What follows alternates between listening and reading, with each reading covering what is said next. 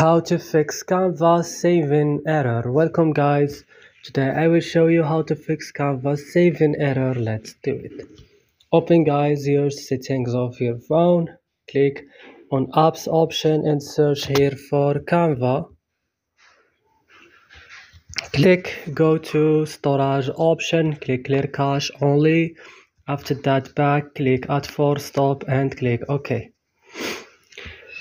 Go to Play Store or App Store, update your Canva, and after updating Canva, restart your mobile phone, and that's all. Hopefully, don't forget to like and subscribe in this channel. See you next.